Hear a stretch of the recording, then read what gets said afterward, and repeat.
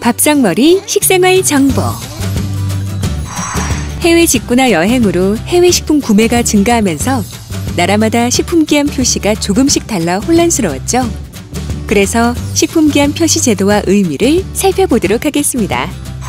식품기한 표시 제도는 판매 기한을 나타내는 유통기한, 품질 유지 기한, 소비 기한 등이 있습니다.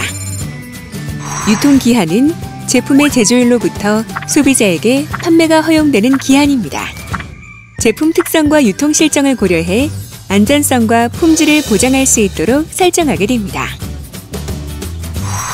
품질 유지 기한은 식품의 특성에 맞는 적절한 보존 방법에 따라 보관할 경우 품질이 유지될 수 있는 기한입니다. 소비 기한은 소비자가 먹어도 건강에 이상이 없을 것으로 판단되는 최종 시한으로 유통기한보다 대체로 깁니다.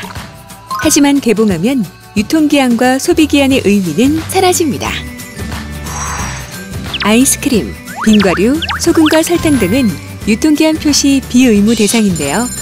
이유는 미생물이 번식할 수 없는 조건을 갖고 있는 식품은 유통기한 표시를 생략할 수 있고 제조일자만 표시하도록 되어 있습니다.